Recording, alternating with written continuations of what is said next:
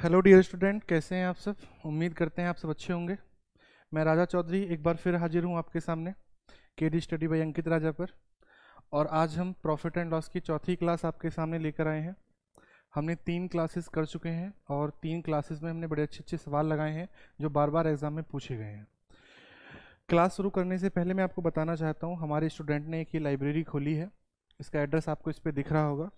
और इस लाइब्रेरी में वो सभी सुविधाएँ हैं जो एक लाइब्रेरी में होनी चाहिए। तो आप यहाँ संपर्क कर सकते हैं और ज्वाइन भी कर सकते हैं अगर आपको पढ़ना है तो। ये हमारे विद्यार्थी हैं और बड़ा अच्छा फैसिलिटी है, सब कुछ है। चलिए टाइम वेस्ट ना करते हुए हम चलते हैं अपनी क्लास पर। आज हम प्रॉफिट एंड लॉस की चौथी क्लास लेकर आपके सामने आए हैं। लास्ट क्लास में हमने सीखे थे कि अच्छे अच्छे क्वेश्चंस जो सी एच एस एल में आए हैं सी पी यू में आए हैं, वो कैसे लगाए जाते हैं। और आज हम फिर चौथी क्लास में भी ऐसे ही दमदार सवाल आपके सामने लेकर आए हैं, जिन्हें आपको देखकर लगेगा कि अरे वाह, आज तो मज़ा आया पढ़ने में। और जब तक पढ़ने में मज़ा ना आए तो पढ़ने का फ़ायदा क्या?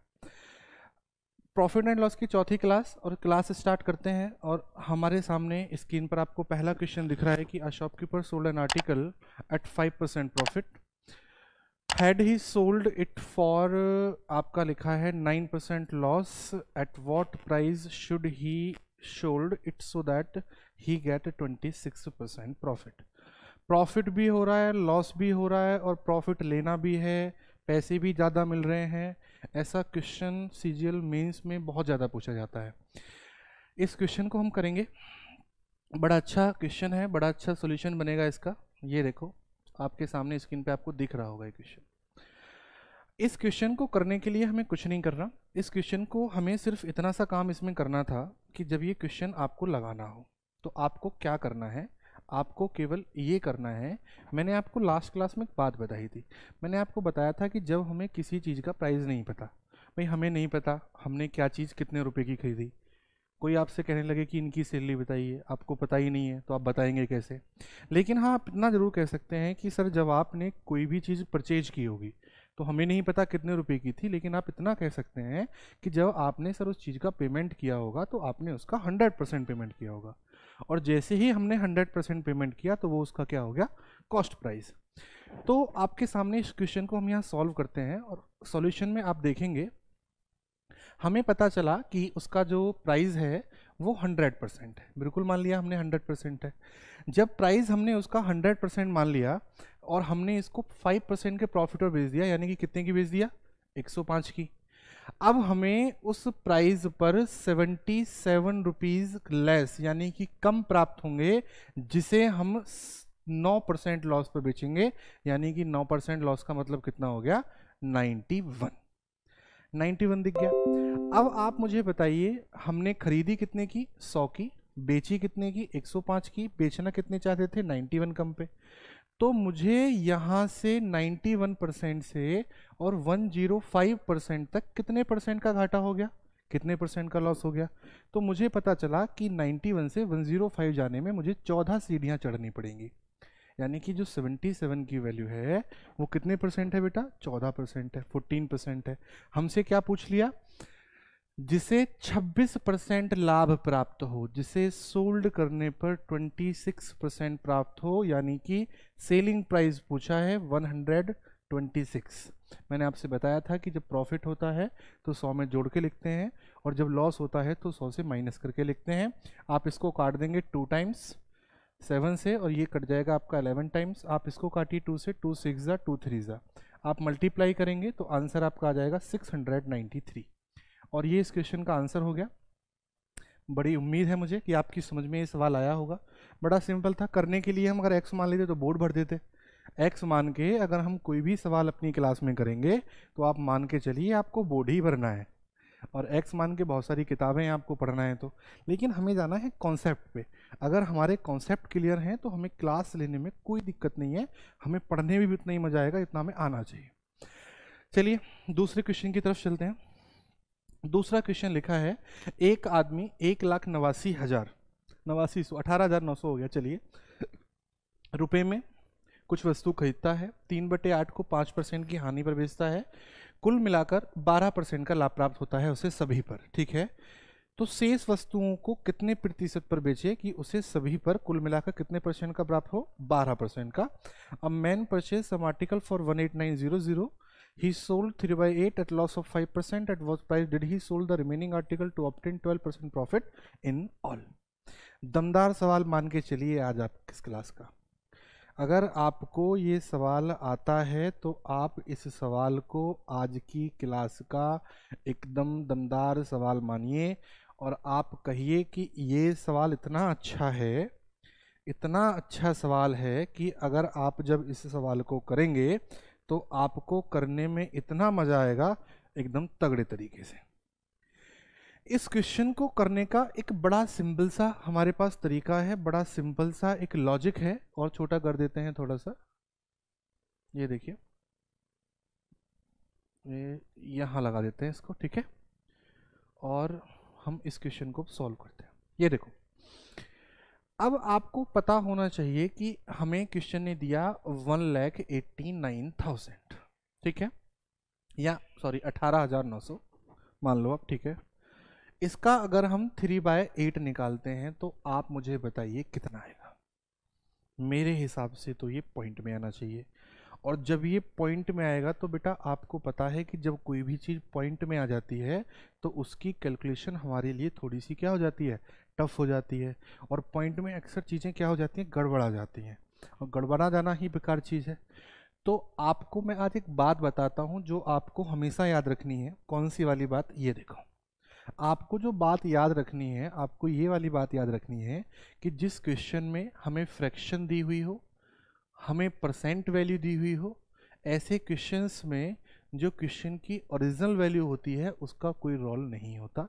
वो हमें कंफ्यूज करने के लिए दी हुई होती है। अगर हम इस वैल्यू पे चलेंगे तो हम उतने अच्छे से चीज़ों को नहीं कर पाएँगे। आंसर आएगा अठारह हज़ार नौ सौ से भी, लेकिन हम बेटा उतने अच्छे से इस चीज़ को नहीं कर पाएँगे। लेकिन अगर हम इस सवाल को करना चाहें परसेंट पे तो आप देखिए, क्वेश्चन ने कहा, हमारे पास जो आर्टिकल है वो कितना है बेटा? थ्री बाई एट है। थ्री बाई एट में से हमने, हमारे पास अब हम कह सकते हैं टोटल कितना है? एट है। थ्री को बेच दिया हमने, आठ में से तीन बेच दी, कितने परसेंट पे? फाइव परसेंट के लॉस पर तो माइनस लगा दो बेटा, ये कितना आ गया? माइनस का पंद्रह। अब ये हमारा आ गया, देखो, माइनस का पंद्रह और टोटल पे हमें चाहिए कितने परसेंट का प्रॉफिट? बारह परसेंट का प्रॉफिट, यानी कि ट्वेल्व एट ज़ा नाइन्टी सिक्स, ये है हमारी फाइनल वैल्यू। ट्वेल्व एट ज़ा नाइन्टी सिक्स हमारी फाइनल वैल्यू है और हमें चाहिए कितना? माइनस पंद्रह से भी पीछे जाना है तो अब हमें क्या करना पड़ेगा? आप मुझे एक बात बताओ, आठ वस्तु हमारे पास टोटल थी, हमने पाँच बेच दी सॉरी तीन बेच दी, हमारे पास बची कितनी? पाँच। अब मैं आपसे केवल एक ही बात पूछना चाहता हूँ, ध्यान से देखेंगे बोर्ड की तरफ़। बेटा, जब ये 96 यहाँ आया, यहाँ कोई वैल्यू आई होगी? यहाँ लिखा है माइनस का पंद्रह। तो बेटा यहाँ पर जो भी वैल्यू आई होगी, उस वैल्यू से हमने पंद्रह माइनस किया होगा तो 96 मिला होगा। तो अगर मुझे ये वाली वैल्यू चाहिए, कौन सी वाली? ये वाली वैल्यू चाहिए तो मुझे इस 96 को इस 15 में जोड़ना पड़ेगा। तो मेरे पास आ जाएगा आपका एक सौ ग्यारह। वन वन वन, आपका आ गया ये वैल्यू अब हम, सवाल हमारा ख़त्म हो गया। कुछ नहीं था। अब हमें केवल इसमें इतना सा काम करना है कि हमें ये देखना है कि अब हम फाइव में कितने की मल्टीप्लाई करें कि ट्रिपल वन आ जाए। तो क्यों ना हम इस ट्रिपल वन में फाइव का डिवाइड ही कर दें? तो ये आ जाएगा आपका twenty two point two percent मेरे हिसाब से ये जो वैल्यू थी, ये आपकी आएगी twenty two point two percent और आंसर हो जाएगा आपका बाईस दशमलव दो आप बड़े आराम से लगाइए और बड़े तगड़े तरीके से लगाइए। बड़ा तगड़ा सवाल है ये आज की क्लास का, और हम आगे चलेंगे अब इसके तीसरे सवाल पर, ठीक है? अब हमें क्या करना है बेटा? अब हमें कुछ नहीं करना। अब हमें आगे बढ़ना है। अगले सवाल पर बिल्कुल ऐसा ही सवाल है, और मुझे उम्मीद है कि आप उसका सवाल भी बड़े अच्छे से मुझे देंगे। अगले सवाल की तरफ़ चलिए। अगला सवाल आपकी स्क्रीन पे लिखा है a man purchase some article for two thousand rupees a man purchased some article for 2000 rupees. He sold 3 by 7 at a loss of 5 percent. बिल्कुल सही है। At what price did he sold the remaining article to obtain nine percent profit in all बिल्कुल पहले जैसा ही सवाल है। कैसे करेंगे? मुझे उम्मीद है कि आप इस सवाल का उत्तर मुझे बड़ी आसानी से बताएँगे। ये लग गया सवाल हमारा यहाँ और हमें चाहिए इसका अब क्या आंसर। इसका आंसर कितना आएगा बेटा मुझे बताओ। कितना आना चाहिए? जल्दी जल्दी फटाफट कमेंट करो कमेंट में आंसर दो, कितना आंसर आएगा? देखो आंसर इसका बड़ा आसान था। वही काम हमें करना है। क्वेश्चन ने कहा, हमारे पास जो आर्टिकल हैं, वो टोटल हैं कितने? थ्री बाय सेवन जब हमारे पास टोटल ही आर्टिकल थ्री बाय सेवन है तो हमें इसमें कुछ नहीं करना। हमें केवल बड़ी छोटी सी बात जाननी थी कि जब ये थ्री बाय सेवन हमारे पास थे तो हमें टोटल पर, इस टोटल सेवन पर हमें जो प्रॉफिट होना चाहिए था, वो होना चाहिए था नाइन परसेंट का। और जब हमें इस पर नाइन परसेंट का प्रॉफिट होगा तो हमारी फाइनल वैल्यू जो आएगी, वो कितनी आएगी? बेटा, वो वैल्यू आएगी हमारी सिक्सटी थ्री अब हमने अपनी फाइनल वैल्यू इस पर लिख दी। मुझे लगता है थोड़ा सा दिखने में थोड़ी सी प्रॉब्लम हो रही है रिफ्लेक्शन हो रहा है। अब सही है। ये 63 आ गया। अब जब ये 63 आ गया तो हमने इसमें से पहले बेची कितनी? तीन। जब हमने इस वैल्यू में से तीन बेची, कितने पर? माइनस पाँच परसेंट पे तो ये हो गई आपकी पंद्रह माइनस का। अब हमें चाहिए कितनी और? चार और बेचनी है। तो हम कितने पर बेचें कि हमें ये वाली वैल्यू मिल जाए? तो हमें 63 को अब बेटा ऐड करना पड़ेगा 15 में, क्योंकि जो भी वैल्यू यहाँ आई होगी, उससे हमने ऑब्वियसली बात है 15 माइनस किया होगा।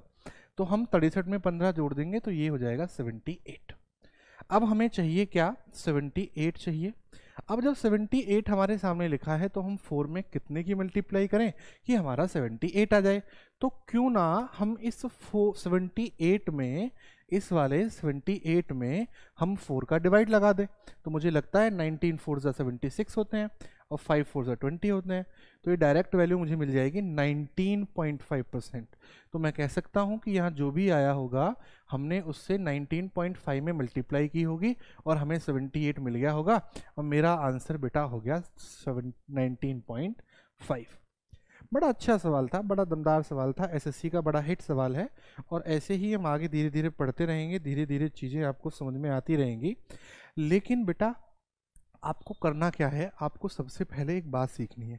आपको चीज़ों से घबराना नहीं है। अगर आप चीज़ों से घबराएँगे तो चीज़ें आपका पीछा करेंगी। लेकिन जब आप खुद चीज़ों का पीछा करना शुरू कर दोगे ना तो फिर चीज़ें आपका पीछा ही नहीं करेंगी। हमें हिम्मत से काम लेना है। और जब हम हिम्मत हारते नहीं है ना बेटा तो फिर कुछ हमारे लिए कठिन नहीं है। ये देखो, बड़ा दमदार सवाल। एकदम मज़ा आएगा लगाने में सवाल को।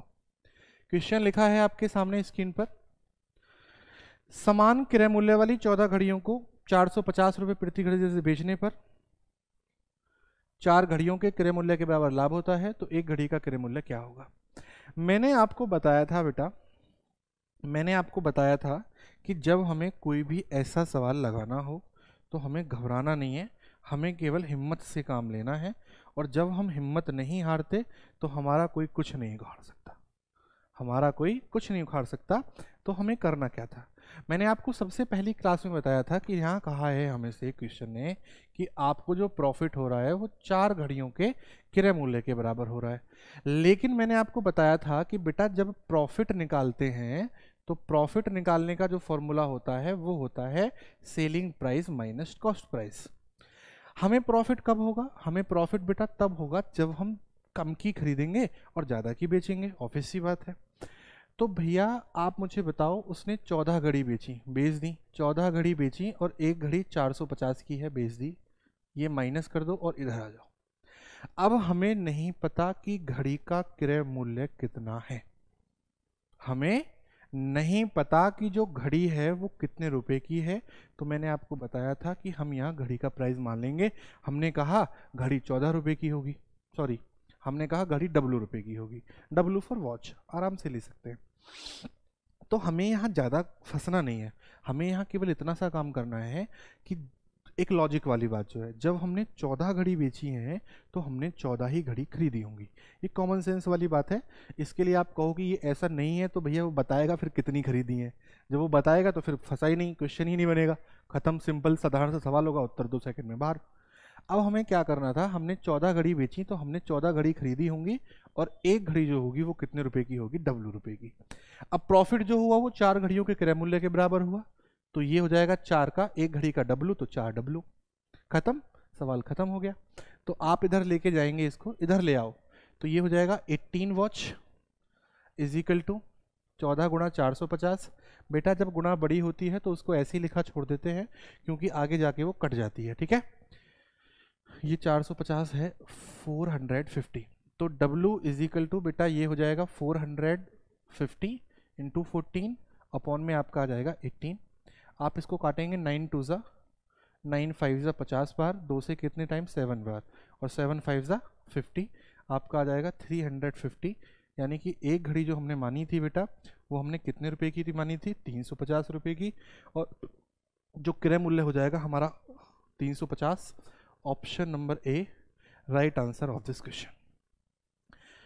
आज की क्लास में बड़े दमदार दमदार सवाल हो रहे हैं। मुझे उम्मीद है आपके समझ में भी सवाल आ रहे होंगे, बड़े अच्छे से आप कर भी रहे होंगे। तो ऐसे सवालों में करने में बेटा कुछ नहीं है। ऐसे सवालों को करने से हमें इतना साहस मिलता है, इतनी मेहनत मिलती है कि हमें करने में इतना मज़ा आता है ना सवाल। पता है, लगन लगानी है। अगर हमें कुछ करना है जीवन में तो उस काम को करने की लगन होनी चाहिए।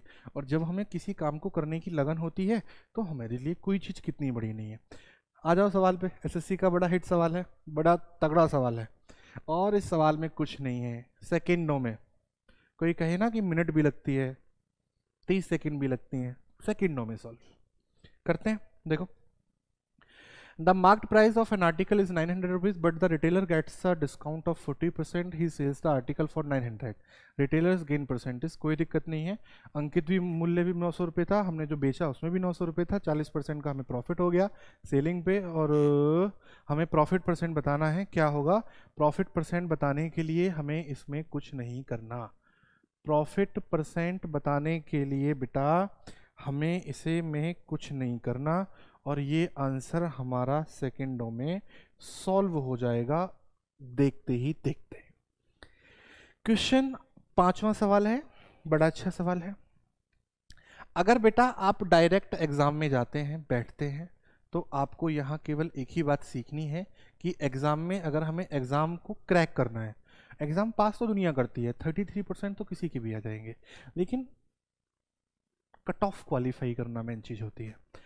अगर एग्ज़ाम क्वालिफाई करना है तो आप छोड़ ही दो। आप ऑप्शन पे जाओ, आपको दिख रहे हैं परसेंट में ऑप्शन है, यानी कि हमें इस नौ सौ रुपये का कुछ नहीं करना। इस नौ सौ रुपये को केवल कन्फ्यूजिंग के लिए हमें दिया था। इस नौ सौ रुपये से हमें कोई भी मतलब नहीं है। ये हमें केवल कन्फ्यूज़ करता है, हम इसका कुछ नहीं करेंगे। हमें मतलब था कि हमें फोर्टी परसेंट का तो वहाँ प्रॉफिट हो गया। किस पर हुआ? बचे हुए साठ पर। फोर्टी परसेंट प्रॉफिट हो गया तो बचा कितना? साठ ही तो बचा जिस पर हम खरीदे होंगे तो सौ पे कितना? आंसर इस खत्म। आपका ये हो जाएगा ट्वेंटी टू ज़ा, ट्वेंटी थ्री ज़ा। आप करेंगे इसको। Two hundred by three, answer is sixty six two by three percent आपके सामने। और ये सवाल हमारा चुटकियों में खत्म। छियासठ सही दो बटे तीन परसेंट। बेटा, इस सवाल का क्या आ जाएगा? आंसर आ जाएगा। और मुझे उम्मीद है कि आपकी समझ में भी ये सवाल आया होगा। और इस सवाल का आंसर आपका ऑप्शन आपका option number A is the right answer of this question छियासठ ही दो बटे तीन परसेंट ठीक है? कितना तगड़ा सवाल था? कुछ भी नहीं था। अगर हमें करना आता है तो ये चीज़ें हमारे लिए बिल्कुल भी कठिन नहीं है। अब हम आगे चलते हैं। अगले सवाल पर चलिए। ये थोड़ा सा, ठीक है। समझेंगे? समझना है। चीज़ों पर थोड़ा सा फोकस भी करना है, ठीक है? हमें क्या होता है बेटा? हमें दो चीज़ें होती हैं कि हम या तो सवाल को बेसिक तरीके से लगाएँ या फिर हमें एग्ज़ाम क्रैक करना है तो फिर हम उस हिसाब से लगाएँ। तो हमें बेटा एग्ज़ाम क्रैक करना है तो फिर हम तो एग्ज़ाम के हिसाब से ही लगाएँगे ना इस सवाल को। देखो, ये सवाल हमने लगा दिया यहाँ। हमें दिख रहा है, दो कलम पेन है, उनका क्रय मूल्य आठ सौ चालीस रुपये है। पहले वाले को सोलह परसेंट के प्रॉफिट पर, देखो, पहले वाले को कितने परसेंट के प्रॉफिट पर? सोलह परसेंट के प्रॉफिट पर ये प्लस लगा दो, दूसरे वाले को 12 परसेंट के लॉस पर। आपने बेटा, मैंने बताया था कि एक मेथड होता है एलिगेशन मेथड। और एलिगेशन मेथड का मतलब हो गया कि जिस सवाल में एलिगेशन लगेगा, उससे आसान सवाल हमारे लिए कोई और नहीं है।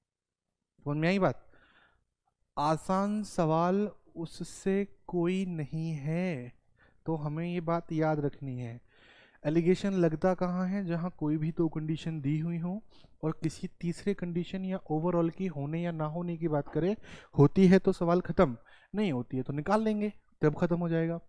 लेकिन यहाँ कहा कि पहली वाली 16 परसेंट के प्रॉफिट पर, दूसरी वाली 12 परसेंट के लॉस पर, उसके बाद ना कोई प्रॉफिट होता है, ना लॉस होता है तो हो जाएगा बेटा ज़ीरो अगर प्रॉफिट होता तो प्लस में करके लिखते लॉस होता तो माइनस में करके लिखते। एलिगेशन यहाँ से इसको घटा लो यहाँ से इसको घटा लो। तो बेटा ये 16 बचेगा और ये 12 बचेगा। ये बात याद रखनी है कि ये जो आता है, ये हमेशा आता है रेशो में। और जब ये अनुपात में आएगा तो अनुपात में कट जाएगा। चार तिया बारह, फोर फोर जो सिक्सटीन। चार और तीन, सात।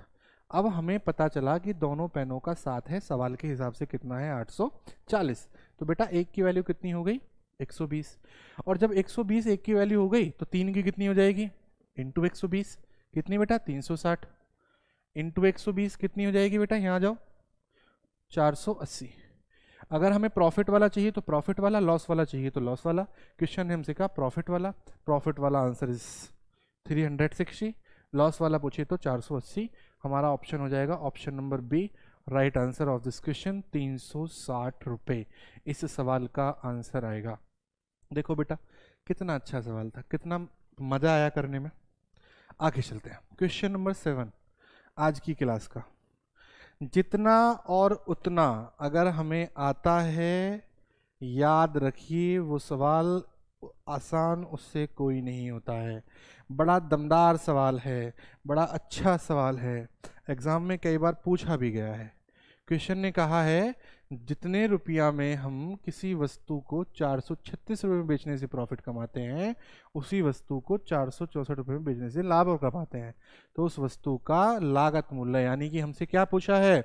हमसे पूछा है कॉस्ट प्राइस हमसे बेटा क्या पूछा है? हमसे पूछा है सीपी लेकिन एक बात याद रखो, जिसमें जितना लाभ उतनी हानि हो, या फिर उतनी हानि जितना लाभ हो ऐसे सवालों के लिए डायरेक्ट फॉर्मूला होता है। डायरेक्ट हम कर देते हैं, यानी कि जितना प्लस उतना बटे दो। हमसे कहा 436 है, दूसरा कितना है? चार सौ चौंसठ। हमें कुछ नहीं करना, इसमें केवल दो का भाग लगाना था। ये आपका आ जाएगा बेटा नाइन हंड्रेड बाई टू आप आंसर जाके लिख देंगे कितना? 450 ऑप्शन नंबर में होगा। ऑप्शन नंबर कौन सा है बेटा? ऑप्शन नंबर बी हम कह सकते हैं कि इस सवाल का जो हमारा आंसर आएगा, वो 450 आएगा। इस क्वेश्चन को हम बेसिक से भी कर सकते थे। सी पी भी मान सकते थे एक्स भी मान सकते थे वैल्यू को लेके जा सकते थे, दोनों को इक्वल भी कर सकते थे तो हमें उन चीज़ों से कोई फ़र्क नहीं पड़ता। उन चीज़ों से फ़र्क पड़ता है, उनको जो एक्स मान के करते हैं। बेसिक से करते हैं, लेकिन एग्ज़ाम करेक्ट करने के लिए हमें ट्रिक पे जाना पड़ेगा लॉजिकों पे जाना पड़ेगा कॉन्सेप्ट सीखने पड़ेंगे। तो हमें देखना है कि जितना लाभ उतनी हानि, उतना लाभ जितनी हानि अगर किसी सवाल में देखने को मिले इनकर्ड वैन लॉस परसेंट मिले, है ना? गेन परसेंट मिले तो ऐसे सवालों में दोनों को जोड़ेंगे और दो का भाग लगा देंगे। वो जो भी आता है, वो उस वस्तु का क्या होता है? कॉस्ट प्राइस यानी कि क्रय मूल्य, हमारा आंसर आ जाएगा साढ़े चार सौ। अगले सवाल पे चलते हैं बेटा। क्वेश्चन नंबर आठवां, आज की क्लास का बड़ा अच्छा सवाल है एसएससी का बड़ा हिट सवाल भी है। बहुत सारी बुक्स में आपको देखने को भी मिलेगा और कम से कम कई बार ये क्वेश्चन हमसे बार बार एग्ज़ाम में पूछा भी जा चुका है। क्वेश्चन लिखा है आपके सामने स्क्रीन पर, देखो। देखो क्वेश्चन को अच्छे से। क्वेश्चन लिखा है, एक टेबल को चार सौ रुपये के बजाय तीन सौ पचास रुपये बेचने से हानि जो प्रतिशत है, उसमें फाइव परसेंट की प्रॉफिट हो जाता है, वृद्धि हो जाती है तो हमसे उस वस्तु का कॉस्ट प्राइस पूछा है, यानी कि क्रय मूल्य क्या होगा। तो हमें इस क्वेश्चन को लगाने में कोई भी हिचकच नहीं होनी चाहिए। इस क्वेश्चन को करना उतना ही आसान था बेटा, जितना तुम शाम को खाना खाते हो, एक हाथ से तोड़ा और दो मुँह में सीधा और खाना खाया, हमने बात खत्म हो गई। समझ में आई बात? जितना आसान हमें लगता है कि ये सबसे आसान है, उस सवाल को करना भी उतना ही आसान था। अब देखो, कोई चीज़ चार सौ रुपये की थी वो बेटा कितने की हो गई? साढ़े तीन सौ की हो गई। तो हमें रुपए में कितने का घाटा हुआ? पचास का। सवाल ने कहा, नहीं, परसेंट में तो पाँच का है। तो हम कह सकते हैं कि पाँच की जो वैल्यू है वो पचास के बराबर है। हमें चाहिए सीपी तो बेटा सीपी के लिए मैंने आपको बता रखा है मल्टीप्लाई बाय हंड्रेड ये फाइव से टेन टाइम्स और हमारे क्वेश्चन का आंसर हो जाएगा वन थाउज़ेंड एक हज़ार रुपये की थी जी वो टेबल जिसको वो घाटी वाटी जो भी घाटा वाटा कर रहे थे, उस पर हम उसको कर रहे थे। ऑप्शन नंबर आपका सी लगा सकते हैं आप इसको। ऑप्शन नंबर सी एक हज़ार रुपये आपका आंसर हो जाएगा। बड़ा अच्छा सवाल था, ठीक है? करने में भी आपको मज़ा आएगा। ऐसे सवालों को करने में उतना ही मज़ा आता है, जितना आप आराम से ज़िंदगी जीने में लेते हैं। चलिए, अगला क्वेश्चन दो घोड़ों का जो मूल्य है वो सतासी हज़ार रुपये है, क्रय मूल्य। पहले घोड़े को साठ परसेंट के लाभ पर बेचा जाता है, दूसरे को बीस परसेंट की हानि पर। यदि दोनों घोड़ों का सेलिंग प्राइस समान हो, बढ़िया सवाल। कोई दिक्कत नहीं, हमें कोई फ़र्क नहीं पड़ता। आप सेलिंग प्राइस समान रख लो, कोई सा प्राइस समान रख लो, हमें मतलब है अपने उत्तर से। हमारा उत्तर कब आएगा बेटा? जब हम उसको करेंगे। अब हमें इसका उत्तर लगाना है। चलिए, हम कहेंगे ये हमारा सीपी और जो हमारा सीपी है बेटा, वो कितना है? सतासी हज़ार रुपये इसमें दो घोड़े हैं। कौन कौन से? पहला घोड़ा सी पी वन दूसरा घोड़ा बेटा सी पी टू दूसरे वाले को हानि पर 20 परसेंट की तो 80 पहले वाले को प्रॉफिट 60 परसेंट का तो बेटा 160 और दोनों को जो बेका है वो बिल्कुल समान मूल्य पर बेचा है, यानी कि जो सेलिंग प्राइस है वो दोनों को इक्वल है तो हमने बीच में क्या लगा दिया? इक्वल लगा दिया। अब जैसे ही हमने इक्वल लगाया तो हमें साफ़ साफ़ एक बात देखी, ये क्वेश्चन तो ख़त्म ही हो गया। जब दो चीज़ें बराबर में लिखी होती हैं तो वनजा एंड टूजा कट गया। तो अब हम जब दो बराबर की चीज़ों को बेटा बटे में लिखेंगे C P one upon C P two तो हम कहेंगे ये एक हो जाएगा, ये दो हो जाएगा। दोनों कितने हो गए बेटा? तीन। तीन की वैल्यू कितनी है? सतासी हज़ार। चलिए। तो बेटा एक की वैल्यू कितनी हो जाएगी? वन यूनिट उनतीस हज़ार। जब ये उनतीस हज़ार हो ही गई है तो हमसे पूछा है, पहले घोड़े का सीपी तो पहला एक ही है तो उनतीस हज़ार के हिसाब से पहला कितना हो जाएगा? पहला बेटा हो जाएगा आपका उनतीस ही हज़ार रुपये का। दूसरा वाला पूछेगा तो गुड़ा उनतीस हज़ार। दूसरा वाला हो जाएगा बेटा आपका अट्ठावन हज़ार रुपये। दोनों के आंसर पहला घोड़ा उनतीस हज़ार का था, दूसरा घोड़ा अट्ठावन हज़ार का था। आंसर हमारे सामने है। आंसर लगाना कोई टफ काम नहीं है। आंसर लगाना कोई बड़ी बात नहीं है। चलिए, अगले सवाल पर चलते हैं और आज हम दस सवाल सीखेंगे। ये नौवा सवाल था और एक और सवाल करेंगे आज की क्लास में। और बेटा हम अगली क्लास भी जल्दी ही आपको कल ही मिल जाएगी। और उसमें और अच्छे सवाल होंगे, है ना? उसमें हम और दमदार सवाल करेंगे जिन्हें हमें पढ़ने में बहुत मज़ा आएगा। बहुत कुछ सीखने को हमें मिलेगा। अगला सवाल है बड़ा, अरे वाह, बड़ा अच्छा सवाल है। पढ़ के देखो बेटा एक बार क्वेश्चन को। लो, बड़ा कर देते हैं। यहाँ देखो, पढ़ के देखो क्वेश्चन को। चलो, ठीक है? पढ़ो फटाफट से। क्वेश्चन लिखा है, एक वस्तु को आठ हज़ार आठ सौ रुपये में बेचने से प्राप्त लाभ उसी वस्तु को बहत्तर में बेचने से हुए नुकसान की राशि के बराबर है। चलिए, यहाँ तो एवरेज निकल जाए। अट्ठासी सौ से लेके बहत्तर सौ का एवरेज निकालेंगे, बड़ी कुल है। यदि इसे छियानवे बेचा गया छियानवे सौ रुपये क्या है इसका? सेलिंग प्राइस है। चलिए, सवाल हो गया। अगर हमें सेलिंग प्राइस दे दिया और सीपी हम निकाल लेंगे तो हमें कोई बड़ी बात है ही नहीं सवाल को करना। कैसे करेंगे? देखो हमें निकालना है इसका एवरेज अब जब हमें इसका एवरेज निकालना है, कहाँ से? आपका अट्ठासी सौ से लेकर के कहाँ तक? सेवेंटी टू हंड्रेड तक का। तो आप करिए क्या? अट्ठासी सौ प्लस कितना? सेवेंटी टू हंड्रेड कितनी वैल्यू है? दो हैं तो दो का डिवाइड लगा दो। तो ये बेटा कितना आ जाएगा आपका? ये आ जाएगा सोलह और ये हो जाएगा आपका कॉस्ट प्राइस कितना? आठ हज़ार। अब आपका कॉस्ट प्राइस आठ हज़ार हो गया। हमें क्या है? सेलिंग प्राइस भी दिया है। कितना है? छियानवे सौ। और ये दोनों का क्या हो गया बेटा? हम कह सकते हैं कि ये कॉस्ट प्राइस और सेलिंग प्राइस का रेशियो भी है। अब जब ये कॉस्ट प्राइस और सेलिंग प्राइस का रेशियो है तो इसे हमें करने में कोई भी आपत्ति नहीं थी। हम दोनों ज़ीरो काट सकते थे। इससे हमको काट सकते थे सोलह सिक्सटीन फाइव ज़ा, और सिक्सटीन सिक्स ज़ा फाइव बाई सिक्स हो गया। पाँच रुपये की खरीदी छः की बेच दी। तो प्रॉफिट कितने का? प्रॉफिट परसेंट होगा। बिल्कुल हमें लाभ प्रतिशत पूछा गया है। एक का पाँच पे तो सौ पे कितना? Answer is twenty percent. Option में है बेटा ट्वेंटी परसेंट। हाँ जी, बिल्कुल है। Option number A, right answer of this question, twenty percent. तो आशा करता हूँ कि आपकी समझ में जितने भी क्वेश्चंस हमने कराए हैं, वो समझ में आए होंगे और क्वेश्चंस में आपको अच्छे अच्छे सवाल भी मिल रहे हैं। और मैं कोशिश हर बार यही करता हूँ कि आपको जितना भी मिले, वो बेहतर मिले। जब तक हम बेहतर लेंगे नहीं तो बेटा, पढ़ने का क्या फ़ायदा, है ना?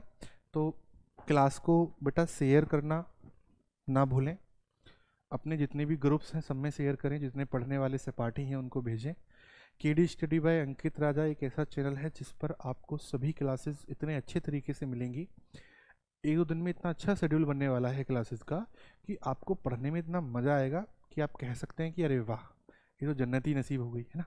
जन्नत वाली चीज़ सुनिए, जन्नत एकदम वही। चलिए, मिलते हैं फिर आपको। अगली क्लास में, है ना? K D study by Ankit Raja, आपका अपना यूट्यूब चैनल है। शेयर लाइक कमेंट करना बिल्कुल ना भूलें। और अगली क्लास में इससे भी बेहतर, हर क्लास में एक से एक बेहतर आपको मिलता रहेगा। ये मेरा वादा है आपसे। चलिए फिर मिलते हैं अगली क्लास में, ठीक है? Okay bye bye